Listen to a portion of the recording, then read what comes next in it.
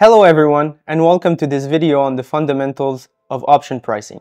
As we saw in the previous module, options are financial contracts that give you the right but not the obligation to buy or sell an asset at a set price before a given expiration. Recall that calls options let you buy while put options let you sell the underlying asset at a set price. The price of the option, known as the premium, is the cost of this flexibility. Ultimately, options are used for hedging risks or speculating on price movements. Now that we've got the basics of why options are useful, let's explore what really determines an options premium. The pricing of an option depends on several key factors. Today, we'll focus on five major ones. The options type, the underlying asset price, the strike price, time to expiration, and volatility. We won't cover dividends or the risk-free rate since they're beyond the scope of our presentation. By the end of this video, you'll understand how these factors shape an option's fair price and interact with each other. Let's get started. Options come in two primary forms, calls and puts. Each serves a unique purpose in the market, but follow the same basic principle. You have the right, not the obligation to take action. For call options, if the market price goes up, the premium becomes more valuable because you can potentially buy the asset at a lower, predetermined cost and then benefits from selling it at the higher market price. For put options, if the market price goes down, the premium becomes more valuable as you can sell at a higher predetermined cost and avoid losses you'd face by selling at the lower market price. So in short, called premiums tend to increase in value when the underlying price rises, while the put premiums tend to increase in value when the underlying price decreases. The current market price of the underlying asset, also called the spot price, is one of the biggest factors in determining an option's value. Think of it this way. If you own a call option, you're hoping the asset price climbs above your strike price, making your option's premium more valuable. Just like buying a house at a set price and watching its market value soar, a higher price makes your call worth more. On the other hand, if you own a put option, you want the price to drop below the strike, because that makes selling at a higher fixed price more profitable, just like locking in a deal to sell your house before its market price crashes. This brings us to three key terms. In the money, where the option has intrinsic value, so for a call, the spot price is above the strike.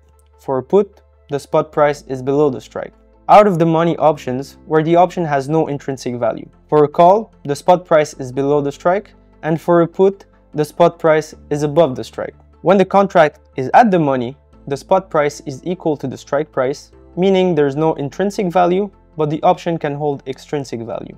Essentially, the underlying price dictates whether an option is valuable at expiration or just a worthless contract. The strike price is like a target. It's the set price where you can buy or sell the underlying asset. The relationship between the strike and the market price determines whether an option is in the money or out the money at expiration. For call options, a lower strike price makes it easier to be in the money. Why? Because you want the market price to rise above the strike. Just like locking in a deal on a stock before its price climbs. The lower the strike, the better the deal. For put options, a higher strike price increases the chance of being in the money. That's because you profit when the market price falls below the strike, similar to having the right to sell something at a premium before its value drops. In both cases, the position of the strike compared to the current market price determines whether the option has intrinsic value or expires worthless. Time to expiration is exactly what it sounds like how much time remains before an option contract expires. Think of it like a sand timer.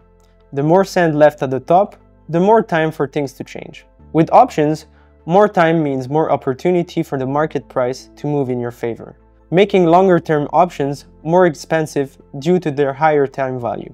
But as expiration approaches, that extra time value starts to melt away, a process known as theta decay. We'll be covering this in the next video. In short, more time means higher option premiums because there's a greater chance of underlying price movement. Less time means lower premiums as the window for underlying price movement closes. Volatility is one of the biggest drivers of option pricing. It determines how much an asset price is expected to fluctuate. Think of it like a weather forecast.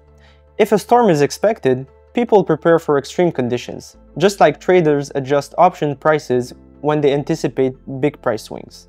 Higher vol increases the chance that a call or put will end up in the money, which raises the options premium. Lower vol means smaller expected price swings, making options cheaper since they are less likely to become profitable. For example, before an earnings announcement or major news, markets expect uncertainty, pushing option prices higher. As the event passes and the uncertainty fades away, the option premiums adjust accordingly. It's important to note that this is different from implied volatility, which reflects the market's expectation of future price swings. We'll explore that next. While realized volatility measures how much an asset has moved, implied volatility is forward-looking. It's the market's prediction of how much the asset might move in the future. Think of it like a concert ticket price before a big announcement. If rumors spread that a major artist might perform, demand surges and prices rise, regardless of whether the concert actually happens or not. Similarly, if traders expect big price swings, options premiums increase even if the movement hasn't happened yet. So, how is implied volatility calculated? Instead of looking at past price swings, implied volatility is derived from the option's current market price using a pricing model, such as the Black-Scholes model. Like its name mentions, it is implied from the options price. In other words, if options prices are high, the market is pricing in the potential for larger future moves. Higher implied vol means higher option prices as traders expect more uncertainty. Lower implied vol means cheaper option prices as expectation for bigger moves decrease. This is why option prices often spike before earnings announcement or major news. After the event passes, uncertainty is gone, implied vol decreases, and option prices drop. To wrap things up, option pricing is a dynamic puzzle, with each piece playing a crucial role in determining an option value. At its core, an option pricing model takes into account the option type, the underlying asset price, the strike price, time to expiration, and the implied volatility.